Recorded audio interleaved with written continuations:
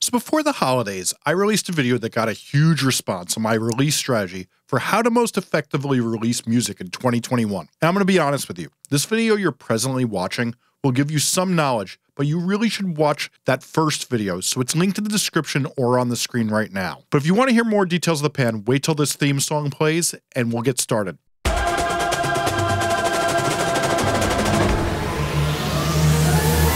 Hi, I'm Jesse Cannon, a music marketing nerd who's teaching musicians how to grow their fan base from zero to 10,000 fans, and this is Musformation. So, the first thing I heard from a few viewers is that they don't hear of anyone really doing this, and I must be insane. When I think of the artists who really broke out in 2020, I think of the artist Yungblud, who releases a song every six to eight weeks, just like I said. And to be honest, nearly everyone who said this is someone who is rock music obsessed and doesn't realize this is the norm in hip hop now, and that nearly every buzzy hip hop artist is already doing this release strategy. And then the next pushback I get is that they aren't hip hop or a pop artist, which I say you have to remember that innovation comes from different sources. In fact, most of the time, the innovations in marketing have come from porn and punk rock, but I have seen pop stars rise to prominence on getting hip to punk's promotion strategies and vice versa. The fact is, you want to embrace the smart marketing from whatever source it's happening in, and instead of saying, Well, no one in my genre is doing this, you need to see that as the big green light, which means you should start doing it before everyone else does and the technique stops working. Lead. Don't follow, as by the time everyone is doing it, it'll stop being effective. And this next question follows up on that. Works of Iron asked, does this work only for short pop, rock songs, etc.? Our single is 13 minutes long, doom metal song. We can tell stories about the song and lyrics no problem, but are people really interested in Ice Age landscapes and ancient humans, the song subject? It seems even more niche than the style we play. I actually think it works well for niche genres and may even work better there. I think consistent, sustained promotion works really well in metal, but I do get your concern as metal is often a genre where innovation moves slow. And truthfully, those sound like subjects all the dudes I know who go to metal shows are pretty into. The next question comes from Ficus. Love your videos. What's the thought behind the new plan of doing a song every eight weeks instead of every four weeks? And with this answer, I'll also answer this one from Ken Davis Jr. I think the strategy is great, but what if I want to upload more than 12 singles? And as well, let's also hit this one from Alex Schechter. What if we want more content to release, but want to keep releasing singles instead of albums? For example, 20 songs mixed and mastered. How would you suggest we go about using a similar release strategy to what you've posted about here? Well, the plan was six to eight weeks before, so that hasn't really changed, but let's embrace this for the question. I feel like four weeks is inundating people with a lot of singles per year, and most people can't devote the time to that anyway.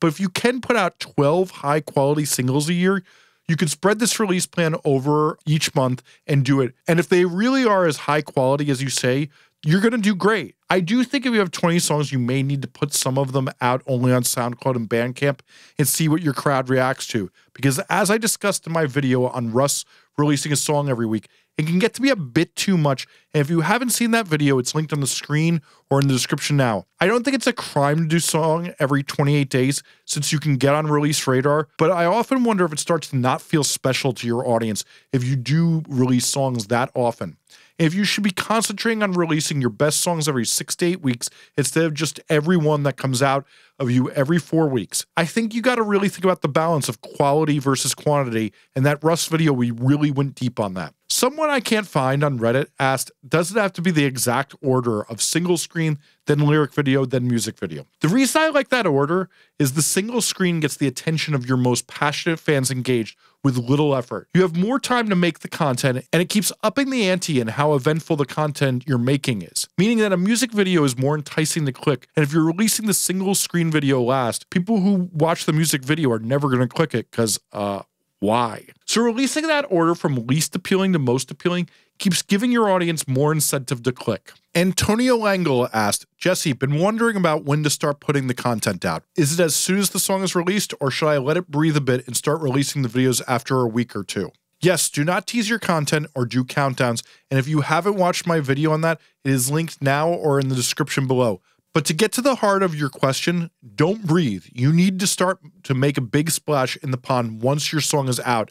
You should announce that midnight for the night owls and then make sure you're online all day telling stories each day or at a minimum every other day. More on that in the future, but truly lean into making your release day always as big as possible. I love this question from Jason Pilling Music behind the scenes. I struggle with the video part. I can get behind the lyric videos. I'm strong on backstory and information type content. My lyrics are like an onion. So the effort payoff ratio seems good, but the live action visual story videos, I don't see the same ratio. Huge effort to produce good ones. I already produce performance videos via the routine live streams that I curate a best of playlist. I'm just more of a words intellect artist than a visual product. Is it insane to think I could skip the official moving picture story videos? It's not at all about being lazy. I'll produce multiple pieces of other good content with the same effort, but I'll be missing this one check in a box.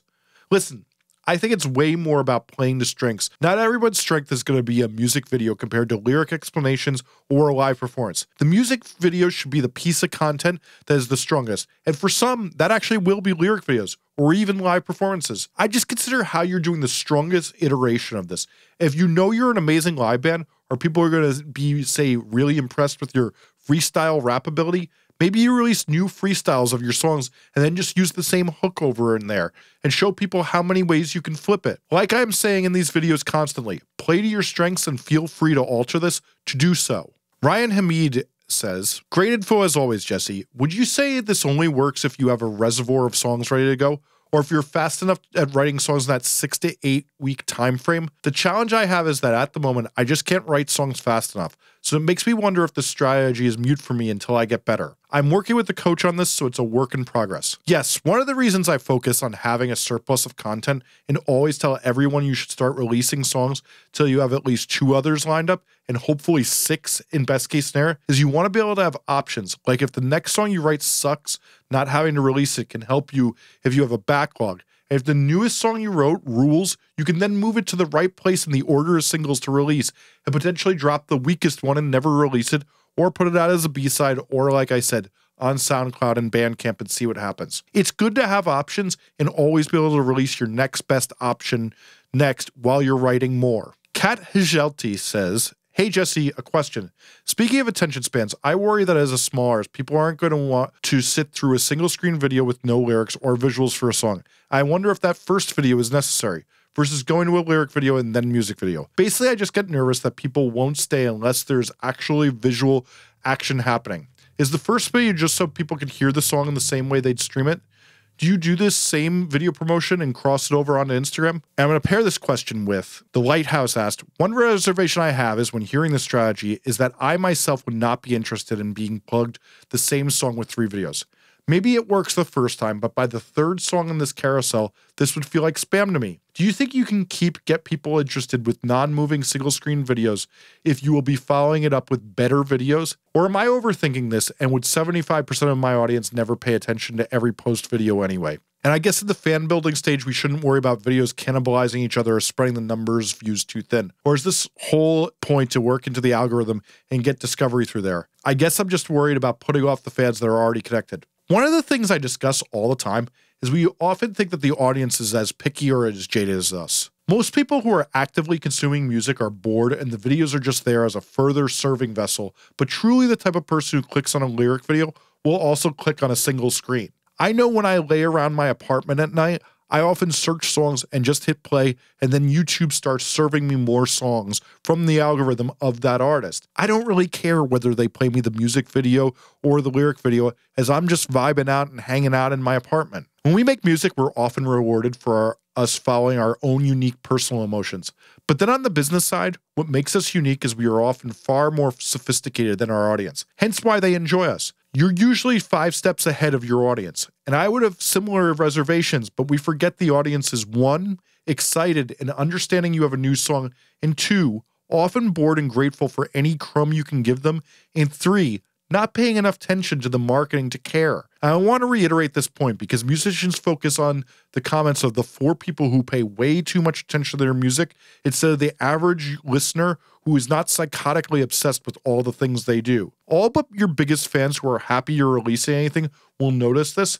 And think about that you always release three videos for each song and if they love you anyway, they're going to be psyched for more content and that they keep getting things to consume from you. Music isn't box checking, it's a mood altering drug, and people can take it for that, and they don't care about the prescription bottle as long as the song gives them their fix. My fourth point is there's data that this works, and while I'd never use data to write a song, for marketing it's gold.